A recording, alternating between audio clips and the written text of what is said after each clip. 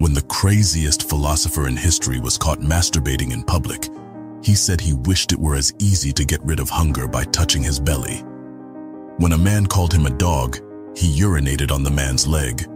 When the man got angry, he said, If I'm a dog, why are you surprised?